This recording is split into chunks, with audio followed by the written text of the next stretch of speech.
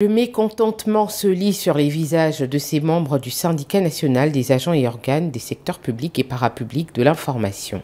Opérant à la RTI, ces derniers dénoncent des conditions de vie qu'ils jugent mauvaises. L'appel aux, autorités compétentes de venir nous aider à résoudre notre question. Notre maison nous coûte très cher.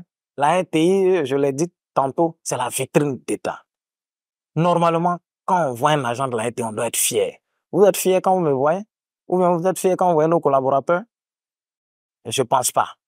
Et c'est cette image-là qu'il faut repositionner. Une dizaine d'années de droits bafoués, des sursalaires spoliés en mars 2023 ainsi que des stocks de congés impayés, ce sont les revendications de ces agents. Nous lançons un appel au nom de la FESACI, aux dirigeants de la RTI, pour leur dire que le jeu du chat et de la souris a assez duré.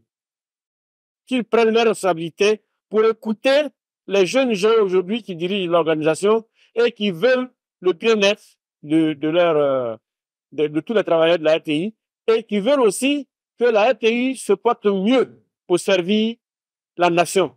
Né en 1975, le SININFO est le premier syndicat du ministère de la Communication, un pionnier qui a été à la base de certains changements structurels au sein du dit ministère. De grandes luttes ont été menées pour le bien-être des travailleurs des différentes structures du ministère de la Communication.